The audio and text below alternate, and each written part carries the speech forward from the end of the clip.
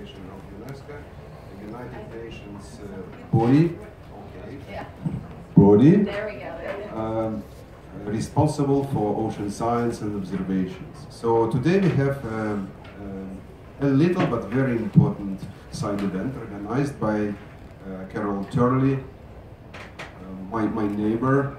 Uh, Carol actually is uh, organized the whole event and uh, I was simply asked to, to chair it. But I'm pretty sure that this event will be very successful because we have uh, an outstanding team of people involved in many aspects of uh, adaptation and mitigation uh, and assessing impacts of climate change on the ocean. Uh, and the focus here will be on showing to you the cascade of events that come from emissions, then go into ocean uh, absorbing carbon, then going into acidification, going, then going to biological consequences of that, and then it will come back because it will also have influence on climate. So, ocean was to some extent neglected uh, in the process of United Nations uh, Framework Convention on Climate Change until I would say there was a breakthrough last year in the Paris Agreement for the first time in the history of these conferences and agreements the health of ocean ecosystems was explicitly mentioned in the text of, of the agreement. So we have to capitalize on this. Uh, the role of the ocean is incredibly important as the main mitigator of, of mostly warming and also of course of, of carbon um, uh, um, component of the climate system.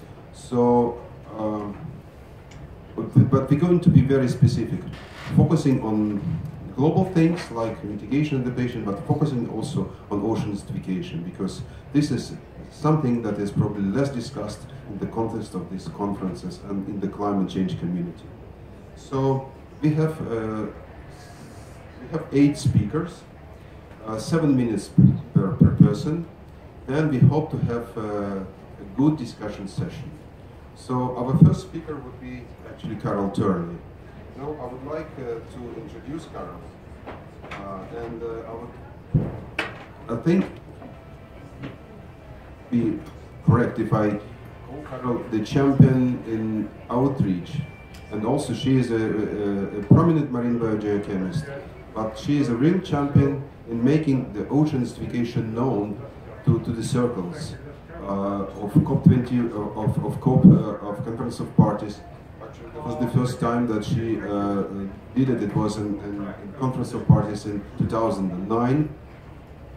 And uh, it is really important to convey the scientifically sound message on the importance and uh, the processes involved in oceanification into the communities involved in the negotiations here. And Carolyn does it very successfully. So she was able to put to, uh, together a very strong team of speakers today. And uh, Carol, you have uh, actually the first uh, presentation which will be called Why Ocean Change Matters to Society and United Nations Framework Convention on Climate Change. Be- be- Vladimir, thank you, and welcome to this event. I would just say Plymouth Marine Laboratory has organised this, not just me, I've had lots of help. We can't, we can't hear you unless you have the mic right next to your mouth. Okay, Plymouth Marine Laboratory uh, has organised this side event, not me. So, so um, I, I, there are a lot of people working on this. If, if there are people here that are Facebook or Twitterers, Twitter ocean information out there, please. Okay.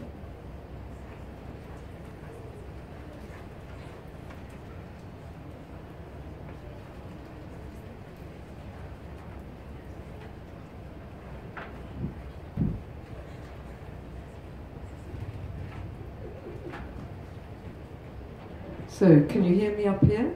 Excellent, excellent. Of course, I can't see from here. Mind. Um, I, I gave myself the simple role of reminding us all of how important the ocean is to all of us, to society, but also to the UNFCCC and the COP negotiations that are going on here. Um, you all know the ocean covers 70% of the surface of the planet. It's what makes life different on this, on this planet compared to others. And it actually um, offers uh, over 90% of the living space on the planet because it's so deep. We have such a deep, unexplored ocean. Um, it also provides 50% of the primary production on planet Earth carried out by microscopic plants, so hugely important. And this productivity, like on, like on land, is distributed unevenly around the world, with some great hotspots, but some great ocean deserts as well. It controls our, our weather. Um, here you can see how storms and uh, rainfall is controlled by the ocean, including cyclones and hurricanes. It also controls our climate with the heat uh, being distributed by the ocean currents. Uh, for example, on Britain, it w- would have the uh, climate of Norway if it wasn't for the warming currents. So we're kind of pleased about the ocean. Um, the ocean is a major source of oil and gas, but it, it also offers these other sustainable forms of energy which we're just beginning to use now. So the ocean has a lot to offer as well. And believe it or not, around 90% of the trade goes across the, the ocean. And a lot of cities are 50% of the world's population live close to the coast. And over 75% of all the cities are on the coast. So you should start getting worried now when you sort of see these statistics. And the ocean actually controls many of the greenhouse gases and non-greenhouse gases. It produces, for example, 50% of the oxygen in the atmosphere. So it's kind of pretty important to life on Earth. And it controls car carbon dioxide. For example, the emissions that we produce. Sorry, I overran myself there. so healthy marine ecosystems are hugely important for coastal protection as you know, reefs, mangroves, and uh, salt marshes all protect our coasts from storms and waves. And they offer huge uh, um, habitats for biodiversity um, and important pharmaceutical and genetic material and aesthetically they're hugely important and culturally they're hugely important to us. And of course they're great inspiration for science and art as well. Um, healthy marine ecosystems also so support jobs and tourism, leisure. We, I mean, I like to be by the sea. I live by the sea. Um, and last but not least, the oceans are hugely important for jobs, for food, um, and supporting millions of people uh, in terms of livelihoods and protein sources. About 11% of, of protein is marine protein. And cultured and non-cultured fish and aquaculture rely on healthy marine ecosystems and full biogeochemical cycles and full food web dynamics. So it's hugely important. That whole cycle feeds back to what we eat. So what the ocean is doing is, is taking up 27% of the carbon emissions that we put into the atmosphere already. And when you add CO2, and water, you form an acid. And this goes through a, a complex cycle or, or um, carbonate cycle, and it results in a change in the carbonate chemistry. So the ocean has become more acidic. But also they're absorbing um, over 90% of heat from global warming, and that's causing the oceans to warm. So we've got another problem, acidification and warming and the ocean is also receiving all the water from melting ice. And that, along with the thermal expansion caused by warming, is creating sea level rise. So the ocean is really at the frontier, the front line of climate change. So, two it's perfect, thank you. So, why should the UNFCCC actually take oceans into account? You can see this is a quote from um, Article 2 of the UNFCCC Convention and to achieve stabilisation of greenhouse gases uh, in the atmosphere at a level that would prevent dangerous anthropogenic interference for the climate system. So that's an objective of the UNFCCC. And the ocean is clearly part of that climate system according to the definition of the UNFCCC which is the totality of the atmosphere, the hydrosphere, the biosphere and the geosphere. So the UNFCCC has to own the oceans too. It goes on to say that such a level of greenhouse gases should be achieved within a time frame sufficient to allow ecosystems to adapt naturally to climate change, to ensure that food production is not threatened, and to enable economic development to proceed in a sustainable manner. So clearly, the ocean has lies within the remit of the UNFCCC. You know, it's it's the change is happening so fast to the ocean that it must be part of the discussions here at this COP and in the future. So I would like to thank the audience for listening to me.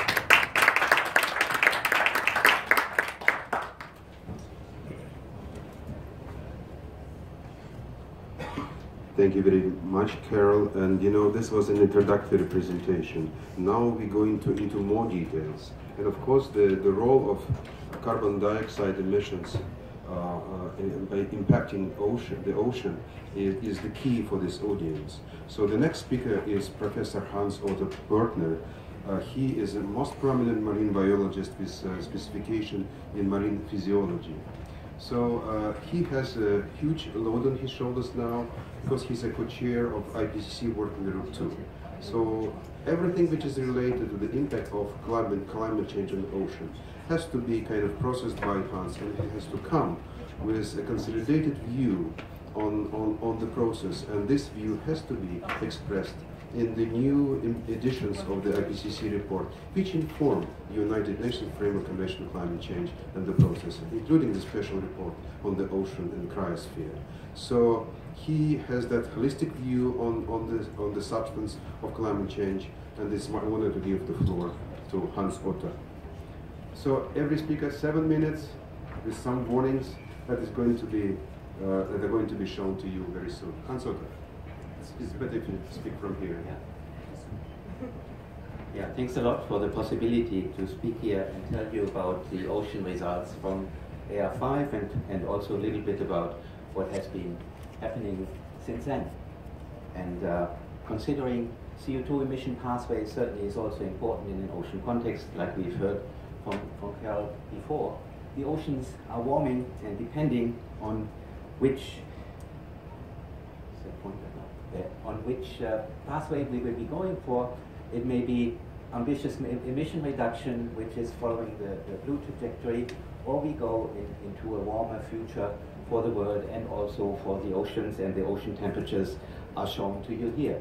Also, we have the decision to make now whether we want to go into ambitious mitigation with respect to the process of ocean acidification, reducing CO2 emissions substantially so the acidification trend that you see on this panel will be kept in balance. The alternative is shown there, an unabated acidification trend with business as usual scenarios. And also the oceans are losing oxygen because they are getting warmer, they are getting more stratified, and especially mid-water layers, the oxygen deficient waters are expanding, affecting marine life. So these are the key ocean climate drivers which cause acidification, warming, and oxygen, and CO2 is certainly the master driver for all of them. Now, the last assessment report has identified ecosystems that are very vulnerable to climate change. And one of them is the Arctic sea ice system. And you all see the choices that can be made here on the left-hand side.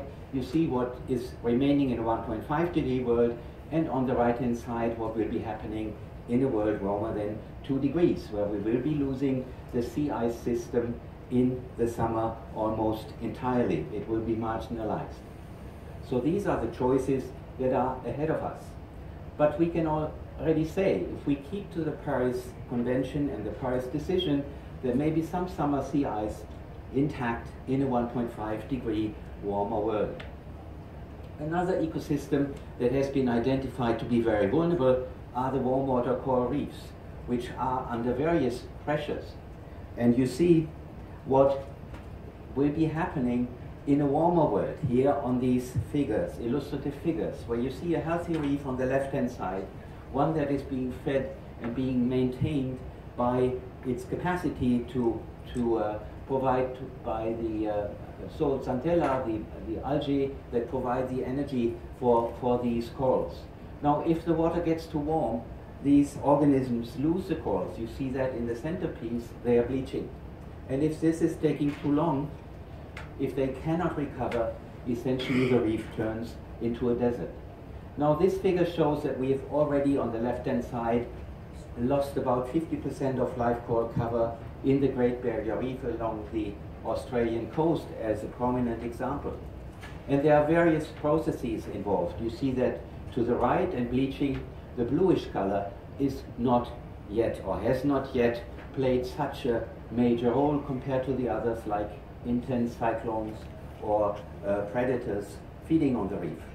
But if we look back just a little bit in time, what the large, what the large El Nino has been doing to this coral reef just recently, and uh, we, we have to appreciate that bleaching will play a much bigger role in the future, and that there is a high risk of losing up to 90% of coral reefs and their services to humankind already in a 1.5 degree warmer world. Now, what else is happening in the ocean? Species are moving, fish are moving, fisheries catch potential is displaced to different areas. And the reddish area, especially in the low latitudes, shows you that the organisms are leaving the places where they've formerly been. There is a decrease in fisheries catch potential there, which adds certainly then, and which is exacerbated by, by the loss of the warm water coral reef ecosystems. These fish stocks are moving north and they are declining altogether, and this is a projection for a two degree warmer world by mid-century. These trends are exacerbated by oxygen loss. This is a new finding after the AR5. So we have to face different risks in the ecosystems, in marine ecosystems. And to the right you see the risk assessment as done by Working Group 2 of the IPCC, where risk is defined as an overlap of vulnerability, exposure, and hazards and the color scale is being used to illustrate the level of risk. And you see it here in the columns for ocean acidification only, and just look at the transition phases between yellow and red, and you see how the transition between 1.5 and 2 makes a difference. Maybe not so much for ocean acidification only, but if you look at the combined effects to the right-hand side, you see that the transition is happening between the two temperatures. So there may be a reason to go for 1.5 instead of 2. And if we do a risk assessment for various ocean sectors, and that has been done in this figure, and just focus on the yellow area in the center, you see a black line, which is depicting the present situation. And then you see a white line, a full white line, which represents the 1.5 world. And there's only one area, the warm water corals, which where, where, this, where a high risk level is, is being reached. But if we go to the IND, the present INDCs, the climate targets or emission reduction targets, then we will see, we see that we are moving into the red area altogether. So we are close and the safety space, the planetary safety space is, is really quite narrow as illustrated here. An additional point is sea level rise, and we have a high uncertainty about this. Projections in the AR5 were still talking about sea level rise up to one meter by the end of century, but the newer findings tell us that even in a 1.5 degree world, there may be higher changes. And in a 2 degree world, these changes may be reaching even higher. And the uncertainty is high, so projections range long term beyond the 2100 between sea levels above 3 meters even. And this matches paleo findings where in a world that has experienced similar degrees of warming, there have been relatively high levels of sea level rise to be considered. So we need to adapt. That is clear. And this is necessary and is occurring. But it's also very clear that without ambitious mitigation adaptation, uh, we will not be able to keep the world in a shape as it currently is. Thank you very much. And uh, just to say, the IPCC will further address these issues in a special report on 1.5 degree global warming and then also in the second special report on climate change and the oceans and the cryosphere. Thank you.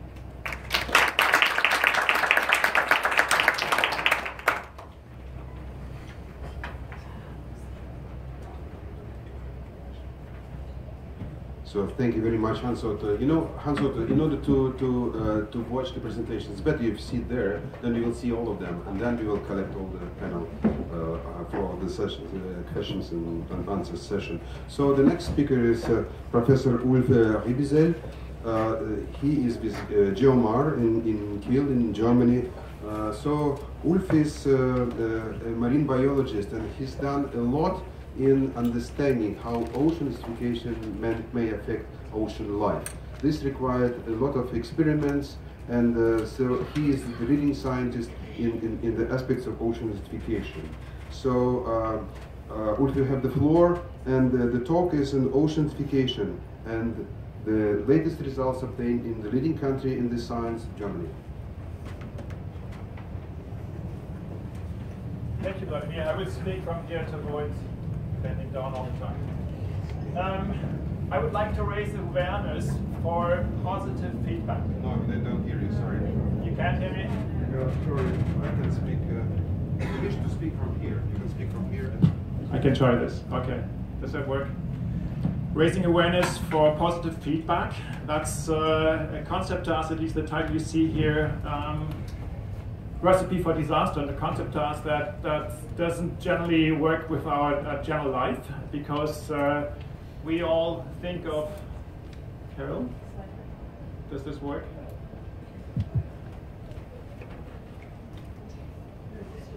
Oh, okay. Very close to you. Okay.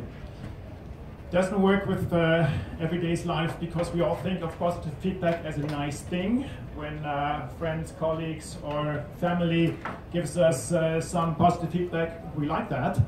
As an Earth system scientist, you have a different view because uh, positive feedback means trouble, because it enhances the changing of a process a driver may be uh, being warming, warming, uh, increasing ice melting, decreasing albedo, and increasing the absorption of heat coming from sunlight.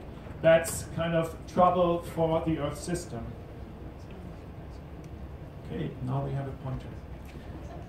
So, positive feedback to Earth system scientist means amplifying initial change. Well, the ocean being such a major driver in uh, uh, climate in the climate system, are there any signs for positive feedbacks from the ocean system? And we've looked at this, and a recent example I would like to show you comes from one of the smallest members of the uh, marine plankton community, from Coccolithophores. They're too small to be seen uh, with your naked eye, but at times they form massive blooms, uh, mass accumulations, which can be seen from out of space, as you see here, just uh, west of Ireland. And over time, they have accumulated massive amounts of calcium carbonate at the sea floor. So they're major players in our Earth system. To see how they respond to ocean change, we have uh, exposed them to high CO2 conditions in an area here at the uh, west coast of Norway where they normally bloom in the springtime, as you see up here. And we've exposed them to different CO2 concentrations as expected for, for the future in these uh, huge mesocosms. And what we found is that under normal present-day CO2 conditions, they do what they expected to do. The most prominent one being Emiliania huxleyi, the species you see here. They form bloom in the fjord as well as in our mesocosms. Under high CO2 conditions, however, that bloom formation fails. They cannot reproduce fast enough to outbalance the losses due to grazing, infection, and so on, and bloom formation basically stops. That is not only bad news for this tiny critter, it also has major implications for the uh, ecosystem as well as for biogeochemical cycling. And two examples are shown here failure of Emiliania to bloom means that the production of the cooling agent dimethyl sulfide, very important agent in cloud formation, is reduced by 50% in this experiment. That's a positive feedback because it decreases the albedo from clouds. And At the same time, we see that the export of calcium carbonate and with it the export of organic matter into the deep ocean is decreased greatly, 80% less calcium carbonate, that being used as ballast for organic matter, and 25% reduced organic matter flux. Again, that's a positive feedback because it means less calcium carbonate being sequestered in the deep ocean. What other feedbacks are there in the ocean to expect? These are the two ones I, I mentioned here, reduced DMS production, increasing albedo, and declines of the ballast effect due to a loss of calcium carbonate production in the ocean, which reduces the uh, CO2 sequestration. Others that we should have a very close look at are um, the temperature-induced effects on the balance between heterotrophic and autotrophic processes. We know that heterotrophs usually benefit more from increasing temperatures than autotrophs. This also may reduce CO2 sequestration. We also know that um, the combination of temperature and CO2 increases the uh, proportion of small phytoplankton cells, so shifting the phytoplankton community to tiny cells, which enhances the microbial loop, enhances the respiration of uh, organic matter, again reduces CO2 sequestration. And a third or a fifth example in this line here is the effect of decreasing oxygen concentration, possibly increasing the uh, production of N2O again, a very climate uh, uh, relevant gas, uh, which could increase greenhouse trapping. So all of these feedbacks and probably several others that we're not even aware of could potentially feed back to the climate system. At present, we don't know much about the capacities and longevities of these processes, so it's a bit too early to say what the uh, uh, feedback strength might be. But uh, clearly they're too important uh, to be ignored at this stage. And with that, I close my presentation and thank you for your interest.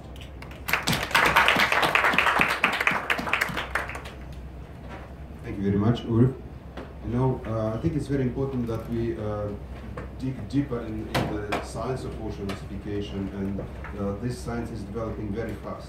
But it is also equally important that already now we start to understand the implications of the change in the ocean on for, for different seas, for different basins. So now we have uh, uh, Neera Shaltout. Uh, she is associate professor from the, uh, National Institute of Oceanography and Fisheries uh, in Alexandria, in Egypt, and she is actually an guru in coastal oceanography knowing uh, how to turn algae into biofuels and, and, many other things that are very important for management of, of the ocean. So, uh, Neera. The floor is yours, and there you are.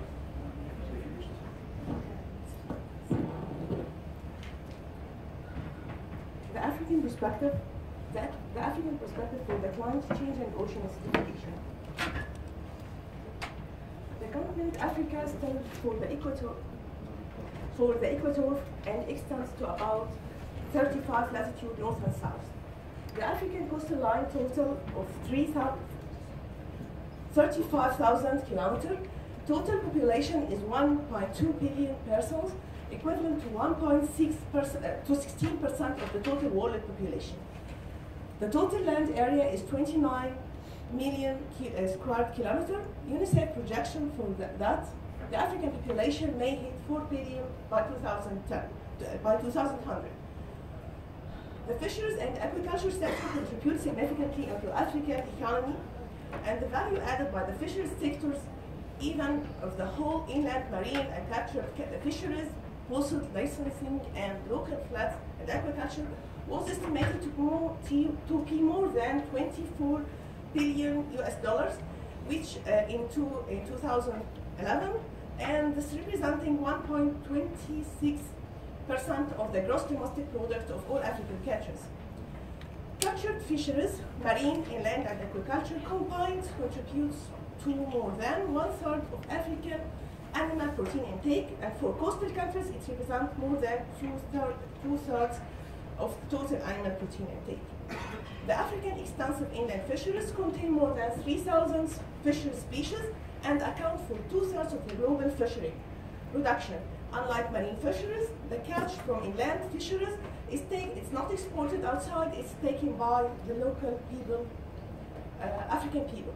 Demand for fisheries is projected to increase substantially in Africa over the next few decades, in consistence with the projected increasing in the human population. Uh, and it's uh, to meet the fish food demand by 2020, it's expected or it's estimated that aquaculture production in Africa would have an increase by 50 100%. So, uh, unfortunately, African fisheries suffer from overfishing, illegal fishing, and environmental stressors. Considering that 25% of all the marine catches around Africa are still by non-African countries, it's also if also these catches were caught by African states, in theory they could generate an additional value of 3.3 million US dollars, which is eight times higher than the current 0.4 million US dollars that countries earn from fisheries agreements.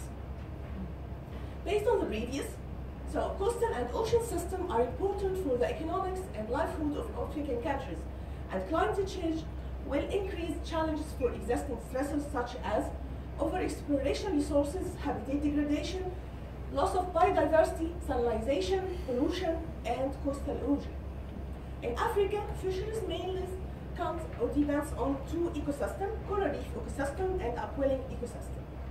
These two ecosystems affected, affected in great extent by ocean acidification and climate change. And this increasing in surface temperature, decreasing this upwelling. The combined effects of global warming and ocean acidification have been demonstrated to lower both coral reef productivity and resilience. This effect will have consequences on and reef biodiversity, ecology, and ecosystem services.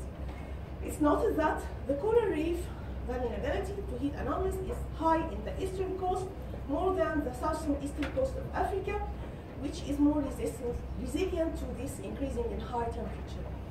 The Canary aquatic system and the Atlantic equatorial aquatic system is one of are one of the most productive system of the whole ocean around the world. And the FAO 2014 report nominated Morocco as one of the as the most the major producer of, in terms of fish catch, and the total land weight was 1 million 1,058 eh, ton in 2012. Changing temperature in the Canary upwelling system during the last 90, period 1950 to 2009 has resulted in decreasing productivity and change to the important fishery species. And the number of the biological processes in fish production, and it influenced a number of biological processes in fish production sensitivity and resilience. The Benguela current to the west, southwest Africa is uh, affected by increasing climate and the upwelling intends to decrease.